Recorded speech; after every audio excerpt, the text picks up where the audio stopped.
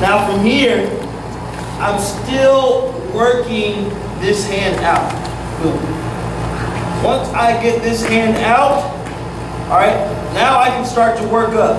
But I'm still keeping this hand pinched to my side here, right? So if I, even if I drop here, I'm still staying close to where this guy cannot get in. Here. All right, you can go there.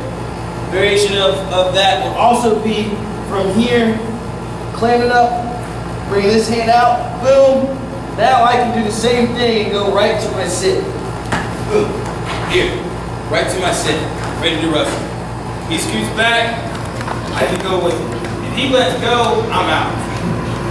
All right, but here, most of that hand in the mat, gone.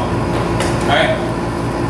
So only thing that I'm changing here for you guys is this. I want you to focus on off the whistle. My focus, some people are really fast, some people are really slow.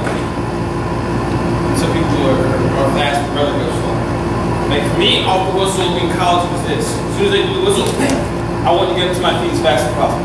Each and every single time. But some people prefer this. The slow. Here, I know everything I got is perfect. I sealed off. I have the wrist. Now I can start working up. Pressure back into the guy. Right from here, I'm opening the door.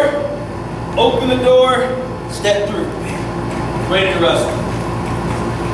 Alright, so you may be that guy. That may be you.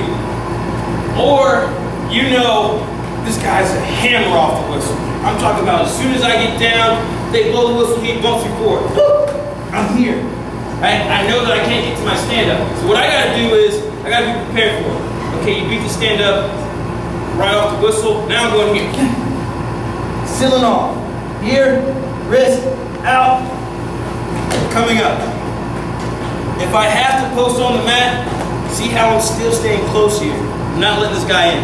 Here, get my balance, whatever I gotta do, pressure back into him. Pressure back into him.